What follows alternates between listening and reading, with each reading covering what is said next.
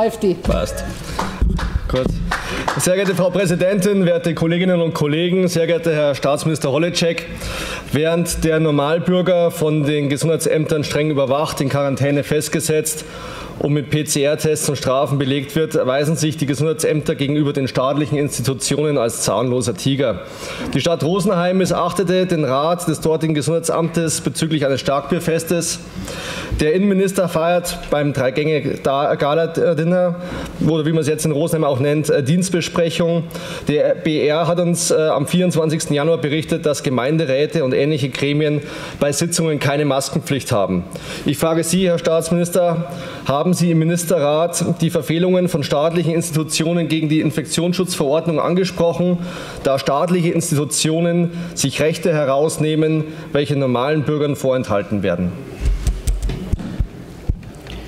Das Wort hat der Gesundheitsminister Klaus Holitschek.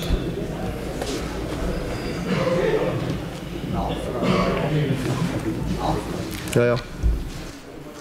Herr Kollege Winhardt, ich weiß nicht, welches Starkbierfest Sie meinen. Und ich kann nur sagen, das, was passiert, entspricht immer den Vorschriften, die gegeben sind. Und in dem Rahmen bewegen wir uns auch. Mehr kann ich dazu nicht sagen.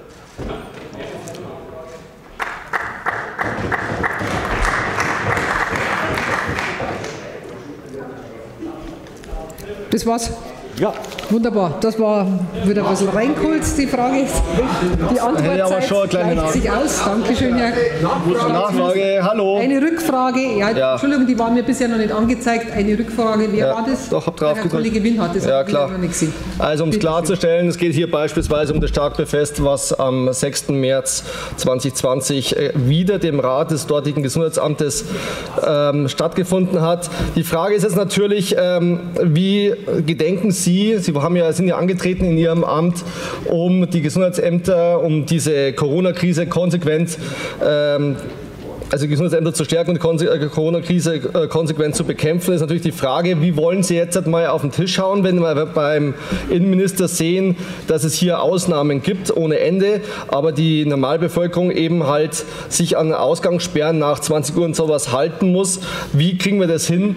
Äh, Ich darf auch an meine Anfrage von letzter Woche beispielsweise erinnern, dass wir hier ähm, gleiche Regeln für alle haben und dass halt diese Gesundheitsämter, die Ihnen ja unterstehen, im Endeffekt äh, nicht der zahnlose Tiger sind, sondern mal auf den Tisch hauen können.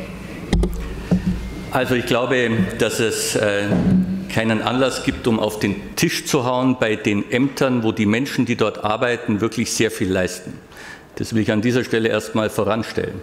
Die Gesundheitsämter und die Mitarbeiterinnen und Mitarbeiter sind im Moment hoch belastet und aus meiner Kenntnis leisten sie im Moment ausgezeichnete und wertvolle Arbeit über das Maß hinaus. Dem sollten wir uns erstmal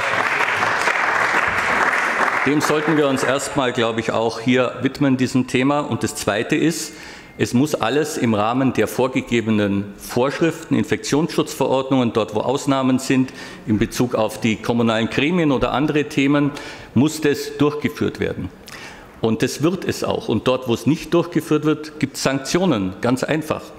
Und äh, dazu gibt es auch nicht mehr zu sagen. Ich weiß jetzt nicht, auf was Sie hinaus wollen. Ich werde den Gesundheitsämtern ein hohes Augenmaß widmen. Ich werde sie unterstützen und wir haben sie auch mit Personal unterstützt in einem hohen Maße. Der RKI-Schlüssel äh, ist bei uns um 1000 überschritten, was die Gesundheitsämter angeht, um das mal deutlich zu sagen. Wir haben Gott sei Dank Unterstützungskräfte auch der Bundeswehr, auch der Polizei, wo ich mich beim Innenminister noch mal ausdrücklich bedanken möchte. Insofern gibt es dem nichts mehr hinzuzufügen.